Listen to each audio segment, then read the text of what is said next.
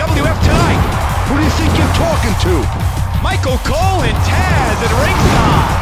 How can you miss that? What will the outcome of this match be? The arena is packed. Anything is allowed in the Hell in the Cell. Atomic drop.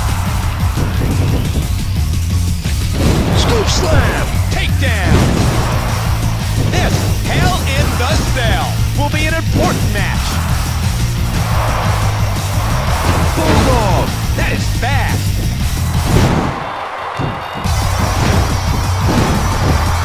Toss.